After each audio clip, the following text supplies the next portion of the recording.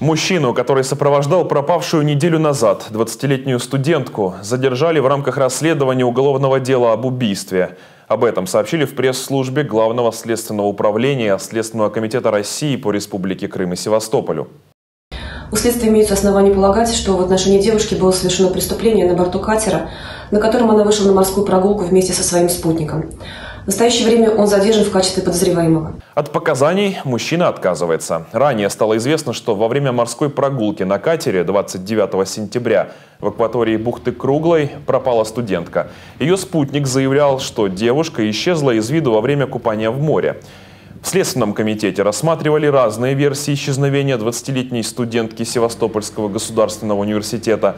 В данный момент по факту ее исчезновения возбуждено Уголовное дело по статье «Убийство». Следователи устанавливают все обстоятельства произошедшего и восстанавливают картину того дня. Поиски исчезнувшей девушки все еще продолжаются.